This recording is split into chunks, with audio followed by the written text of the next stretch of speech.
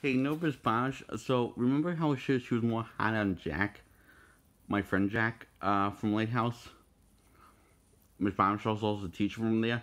And she was more easy on me in the ears because blah, blah, blah. Uh, she could pretty much take all of my happiness away. So, she, of course, she was wondering, what's wrong? Blah, blah, blah, blah, blah. Blah, blah, blah, Miss Bosch. So, anyway,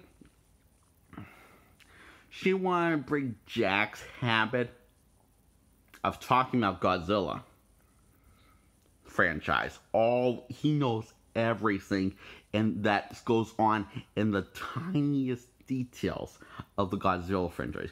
So she wanted to break him out of that cycle. She says. She says, We're trying to break Jack out of that cycle and break him out, break those habits, the old habits of him. But she couldn't break them.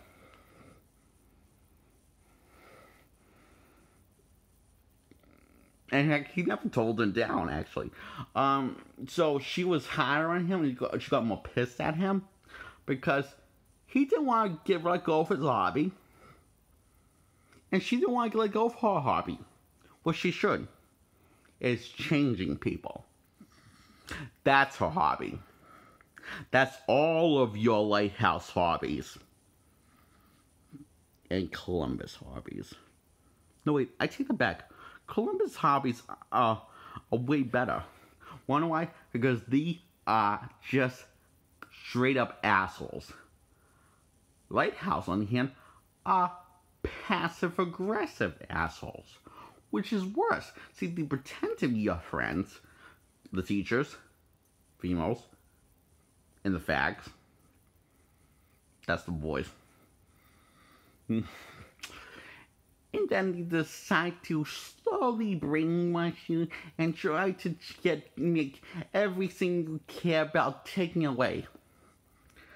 This is where Miss Cormier is the exception. She she tried. She told me that I shouldn't hide who I am, but I should embrace who I am. Miss Cormier, you were right. And when I was talking about movies, uh, you thought I was like a therapeutic thing.